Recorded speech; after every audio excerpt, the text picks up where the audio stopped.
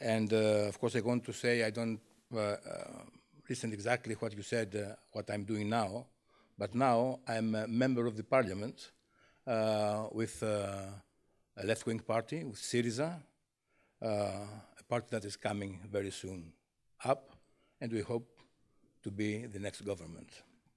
So, dear friends, uh, my speech is not going to be very pleasant because I have to start uh, giving you some figures of what is the situation in Greece in this moment. Uh, so, I have to know that Greece is stepping back from human rights since uh, May 2010, when the first loan agreement between Troika and the Greek government was concluded. The country was become almost a byword of structural adjustment and drastic labor market reforms across Europe.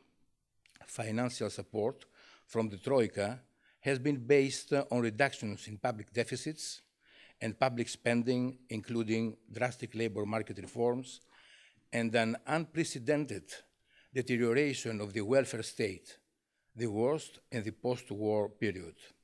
I give you some characteristics, uh, uh, some figures about the Greek reality.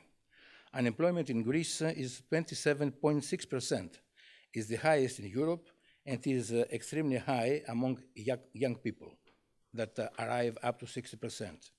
Collective bargaining system has collapsed, and 60% of all workers are paid according to the outcomes of individual employment contracts. Almost 150 young educated, uh, 150,000 young educated people have immigrated since 2010. Quite concerning is the fact that this figure represents almost a huge percentage, a high percentage of the workforce force of high skills and scientific capabilities. Private sector companies reduced wages by 40% average uh, through the introduction of company level collective agreements or individualized agreements with employees. In addition, six out of 10 companies delay to fully compensate their, employee, their employees on time. 46% of pensioners get a pension below 500 euro. The life in Athens and in Greece is still very expensive. Uh, undeclared work among Greek and immigrant workers from third countries has dramatically increased to 33%. The number of the people who live under the poverty line, line uh, are increased enormous, enormously. Uh, in a country where the suicide was uh, a rather unknown phenomenon, uh, we have uh, a huge increase uh, in suicide and attempts at suicide, suicide uh, that arrived uh, to 4,000 people during the last four years. The number of homeless people in Athens, something that never happened for decades and decades, estimated to exceed 30,000. Public health uh, problems are uh, great, are enormous, and uh, also I have also, because I'm going to, to come back on that field, police violence and xenophobic attacks uh, to immigrants have become endemic. Dear friends, a state achieves its objectives through projecting its power and demonstrating its strength by traditional diplomacy. Significant results are also achieved through mild policies, soft power, applying methods such as ideological penetration and promotion of cultural products. This method of cultural diplomacy achieves benefits or through state cultural mechanisms, mechanisms or private organizations. There are many schools of thought studying and trying to explain cultural diffusion and interaction among different populations in a globalized world.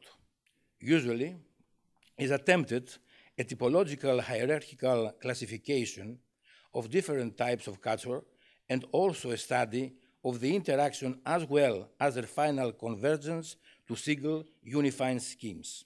Historically, the global expansion, expansion of the industrial developed Western countries has been based on a great extent upon power and violence, uh, which was followed by cultural penetration, which in many cases was not mild at all.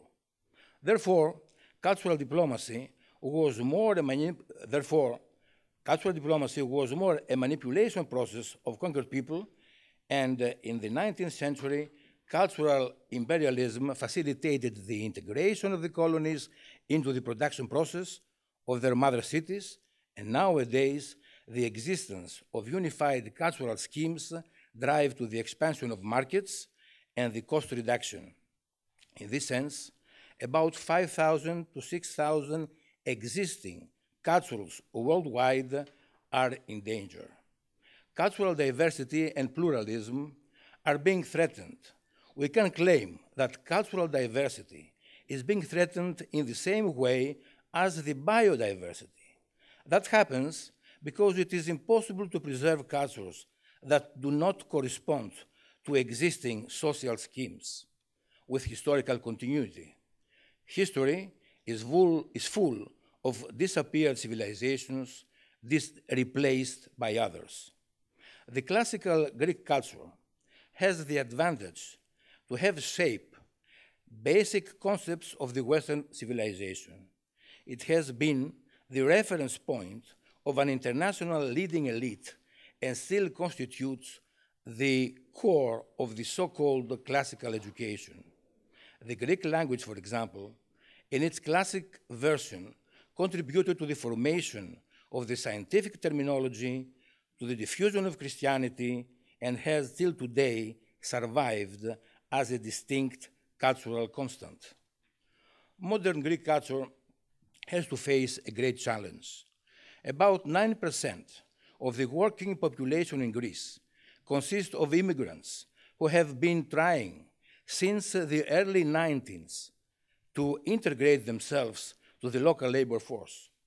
There are already second generation immigrants coming from parents of different cultures. The Greek society had to show tolerance and then try to absorb the new elements. At the very beginning, it seemed to be an easy process. The Greek society was trying to obtain multinational characteristics through an integration process for all immigrants. This process was marked by difficulties, labor and social discriminations, but still was an integration process. This process was reversed after 2009 due to the crisis. At the top of that discrimination, racism, anti Semitism, xenophobia became dominant ideologies and practices. The main supporter of xenophobia, racism, and criminal behavior towards immigrants was the neo Nazi Party of Golden Dawn, which before the crisis had a voting rate below 1%. To be precise, it was uh, 0.29, while in the elections of 2012 got a rate of 6.97% with 441,000 votes and 21 out of the 300 parliamentary seats. The launching of the percentages of Golden Dawn came out of the abolition of social rights of great parts of population, particularly the young people, the collapse of labor relations, the increase of unemployment, and the social exclusion. The current crisis undermines the cornerstones of democracy, providing a fertile ground for the expansion of fascism and neo Nazism. The fascist perception about culture can be summed up in the famous phrase of a hero of the play of Schlageter of Hanns Johst, saying, Whenever I hear of culture, I pull out my Browning. A phrase wrongly attributed to Goebbels or to Goering, but it is quite certain that both repeated, in many, repeated this in many cases. Reality is totally different. Fascism has its own culture, which is the aggressive demolition of any particular cultural characteristics. It is the culture of homogeneity and the obedience to a short sighted perception of an imaginary folklore. In Greece, the culture of fascism considered in the acceptance of old, cheap, populist rubbish trying to appear them as universal Greek values. I think that the acceptance, acceptance of different cultures characteristics allows the diffusion and penetration into different cultural groups.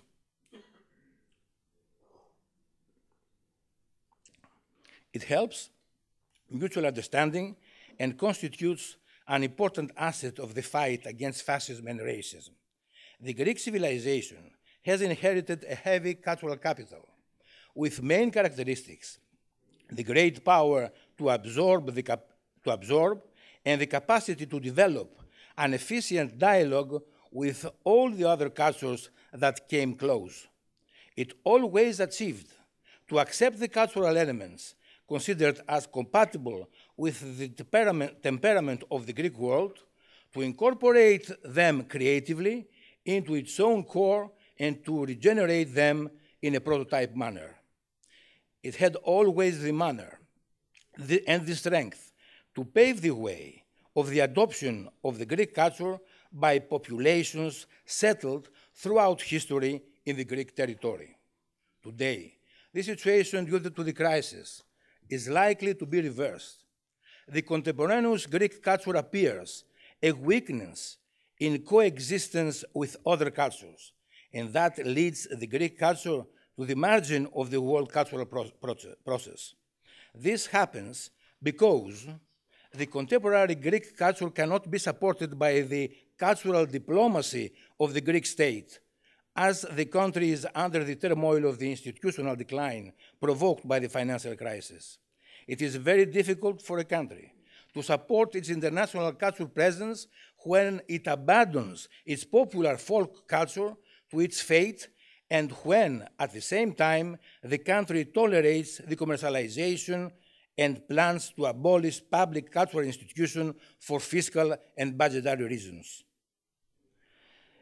In order to achieve the above, is to make them, in, in the beginning, inactive and untrustworthy by implementing policies stemming from the memoranda.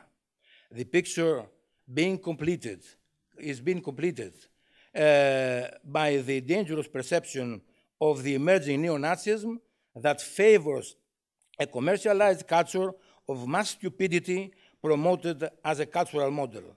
In this case, the fiscal attack of the bailout programs is similar to the ideological aggression of the extreme right. In our opinion, the Greek and the other cultures corresponding to existing communities have to be preserved as elements of the global civilization. This is the point where the contribution of cultural diplomacy can to be focused. On the other hand, these societies have to accept the multicultural challenge and take it as an opportunity of their further development. Finally, cultures as historical and social phenomena have to be reinforced in order to confront the, the modern uh, challenges of a rapidly changing world and not to be left to the blind trends the, and demands of the globalized markets. The question is, could culture function as a, a counterbalance not only to the Greek crisis, not only to the South European crisis, but also to the upcoming, to the upcoming European one? I believe, uh, I believe it could be achieved within the frame of a new type of broader growth policy. The adoption of the new productive and consumption models as a new type of growth should be, should be in target, should be our target. The growth should be also based upon broadening and upgrading uh, of cultural offerings and production, not in a sense of a product, but in a sense of the cultural dimension of the people's participation in shaping new quality of life.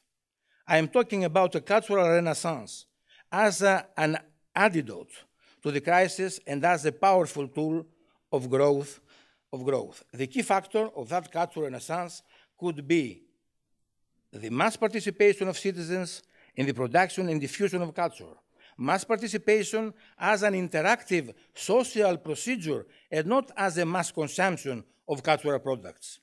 Dear friends, in the neighbors of the Greek cities, flourishing cultural activities can be already appeared, have already appeared, with initiatives of the local societies as a counterbalance to the crisis and to the isolation that the government of the memoranda and the fascism who want to impose.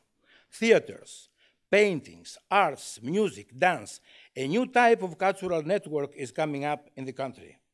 This new cultural wind will meet the forces of an proposed, or, or, that, the forces that are proposing a new growth model to exit from the crisis, and together they will hammer a new productive social and cultural reality. Concluding, concluding, I want to point out that since the crisis is not exclusively, exclusively a Greek phenomenon, its uh, expansion threatens the whole Europe.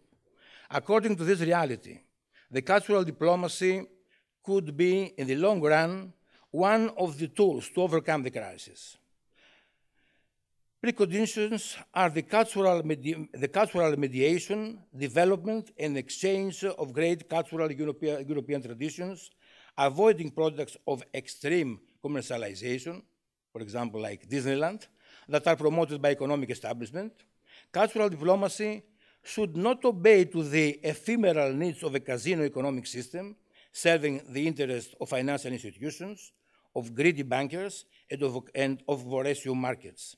That's why I believe with uh, sincere, stable, long-term, and well-planned cooperation, we can succeed. Thank you very much.